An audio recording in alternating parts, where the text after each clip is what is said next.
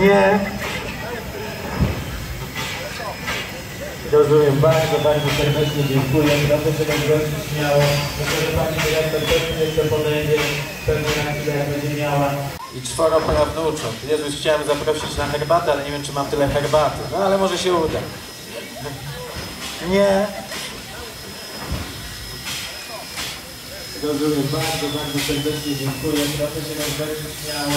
Myślę, że pani dyrektor też tu jeszcze podejdzie pewnie na chwilę, będzie miała do Państwa e, jako właśnie naszych dzisiejszych kolorowych gości też. Pani dyrektor, czy Pani chce coś jeszcze do mikrofonu? Pogratulowałam tak wspaniałej urodziny, że Państwo się pojawili. To, to jest coś wspaniałego. To, to jest ważne, że ta wielopokoleniowość i doceniamy starsze, starsze osoby i doświadczenia. To są ocenimy tutaj. Ja podkreślam na po prostu ta wiedza, doświadczenia, jaką mają e, nasi nestorzy, jest najważniejsze. Musimy się tego spokoju od nich uczyć i serdecznie dziękuję. O,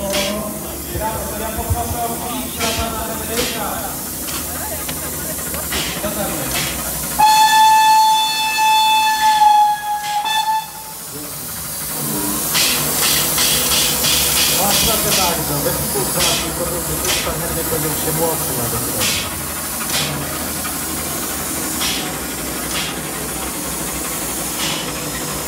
Uważaj!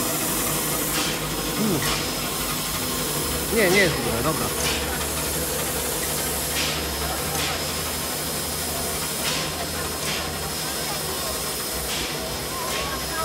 Mamy jeszcze taka niespodzianka, bo właśnie tutaj z najmłodszego pokolenia posłuchamy się. Hej, hej! Zapraszam do za- zabytkowej stodole jest już restauracja z naturalnych produktów. Serdecznie zapraszam wszystkich.